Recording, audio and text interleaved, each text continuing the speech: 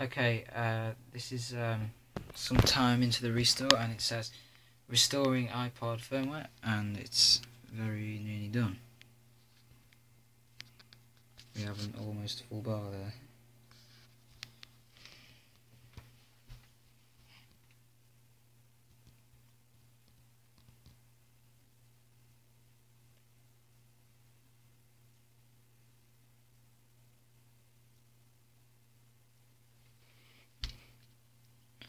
Oh shit, I just pressed the home button, hope it doesn't do anything.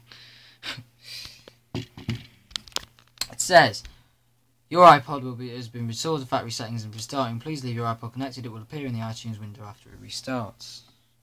This message will disappear in zero seconds.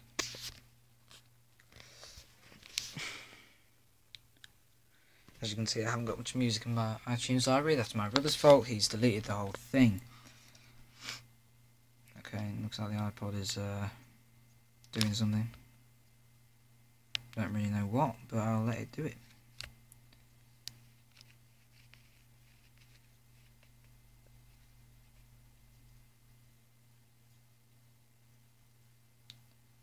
There we go.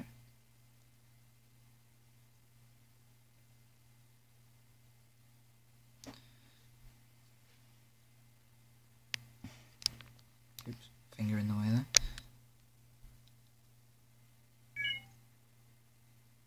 to iTunes.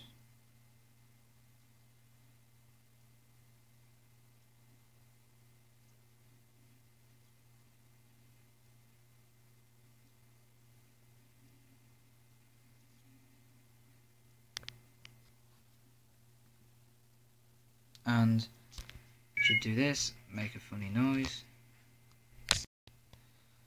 Sorry, I had to pause it there. My mum came in from Morrison's.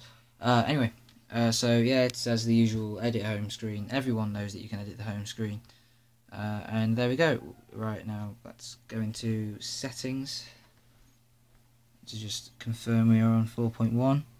Uh, general, uh, about, and there we go. You can't really see it, but uh, just here where it says version.